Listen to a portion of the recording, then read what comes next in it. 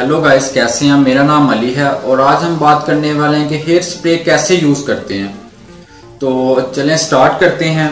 یہ میرے پاس سبا لون کی ہیئر سپرے آپ دیکھ سکتے ہیں۔ آپ کو نظر آ رہی ہوگی یہ بہت اچھی سپرے ہے، اس کا ہولڈ بہت اچھا ہے۔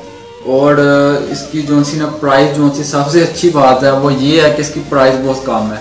یہ ون سیونٹی روپیز میں میں لے کر آیا ہوں سبا لون کی سپرے ہے۔ اور اس میں یہ چار سو بیس ایم ایل اس کے اندر ہے، یہ کافی اس کی، یہ یہ تقریباً ڈیلی یوز بھی کریں نا، تو چھ ماہ گزر جائیں گے، تیس میں ہے۔ تو سٹارٹ کرتے ہیں، کیسے ہم یوز کرتے ہیں۔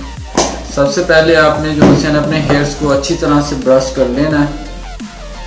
جہاں پہ آپ اسے سیٹ کرنا چاہتے ہیں اپنے ہیئرس کو، تو آپ نے وہاں پہ کاٹ کے پھر جو حسین اسپرے اپلائی کر لیا۔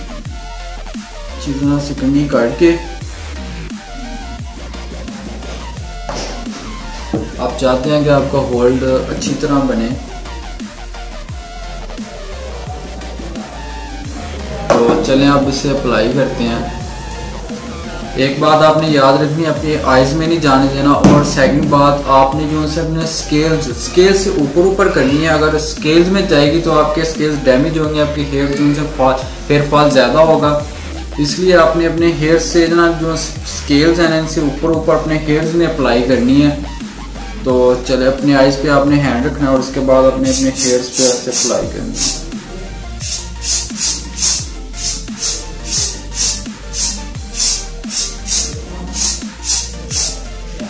اور جب یہ ڈرائی ہو جائے کہ اس کا ہولڈ کافی ہوتا ہے۔ یہ تقریباً 24 وارڈز اس کا ہولڈ ہے۔ اور کافی لونگ ٹائم ہے۔ یہ مارکیٹ سے آسانی سے آپ کو جو مل جائے گی۔